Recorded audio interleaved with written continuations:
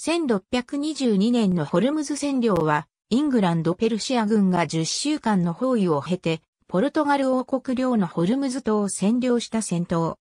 この占領により、ペルシア湾を経由するイングランド・ペルシア間の貿易が可能になった。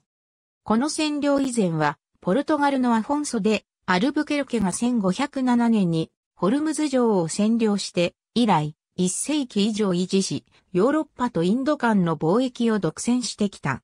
そのため、この1622年の占領は、勢力と貿易の均衡を大きく変えたという。イングランド軍は、イギリス東インド会社が派遣した5隻の戦船と4隻のピンレース。ペルシアは、ペルシア・ポルトガル戦争で長らく、ポルトガルと戦っており、ゲシュム島のポルトガル要塞を行為していたが、イングランドの援助が必要だった。サファビー朝のアパース一世は、イングランドと同盟したがって、ペルシア軍の指揮官、イマーム・クリー・ハーンはイングランドに絹貿易を保障して、同盟を成立させた。同盟の内容は、ホルムズの戦利品を折半し、捕虜は侵攻で両国に振り分け、イングランド艦隊の支出はペルシアが半分支払う、というものだった。ゲシュム島にあるポルトガルの城塞ホルムズ島にあるポルトガルの城塞1月23日、イングランド艦隊はまず24キロ外のゲシム島へ向かい、城塞を砲撃した。ポルトガル軍がすぐ降伏したためイングランドの被害は微小だったが、著名な探検家、ウィリアム・バフィンを失った。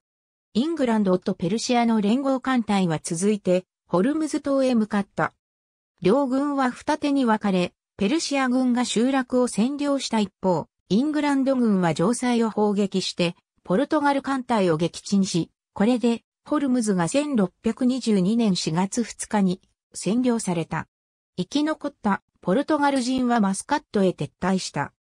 ポルトガルは1580年から1640年までスペインと同訓連合の状態だったが、ポルトガルとイングランド正式には戦争状態にはいない。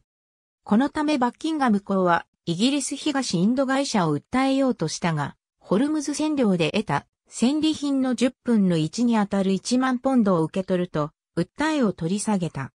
イングランド王ジェームズ一世が、スペイン人からの抗議は届けたのに、私への見返りが何もないと愚痴をこぼすと、同じく1万ポンドを受け取ったという。ウィリアム・バフィン、ゲシュム島の戦闘で砲弾に当たり死亡した。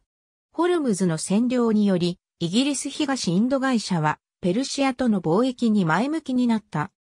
イングランドの冒険家、ロバート・シャーリーも機会に乗じようとし、東インド会社はイングランド織物をペルシアの絹と交換しようとしたが、ペルシア側の同意を得ることが困難を極めた。ありがとうございます。